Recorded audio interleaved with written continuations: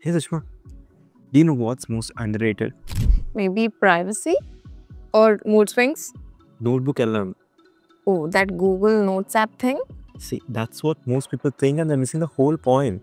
Calling NotebookLM a notes app is like calling Google Maps a compass when it's way more than that. And hey, didn't you say that you had those analytic research using those YouTube videos resources? Oh, yeah, I actually forgot. I have a lot of videos to watch for that. Well, now you don't have to actually. Let me show you how.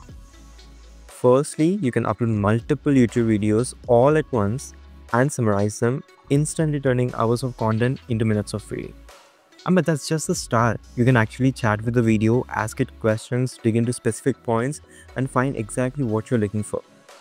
And when you're done, it can even turn your insights into a personal audio brief. Staring at just this mountain of data, maybe a dense report or a spreadsheet that seems to go on forever, and feeling Like your own custom podcast, you can listen to it on the go. So, no, it's not just a notes app, it's an intelligent engine. Say this for the next time you wish a video can summarize itself and share it with a friend who needs it.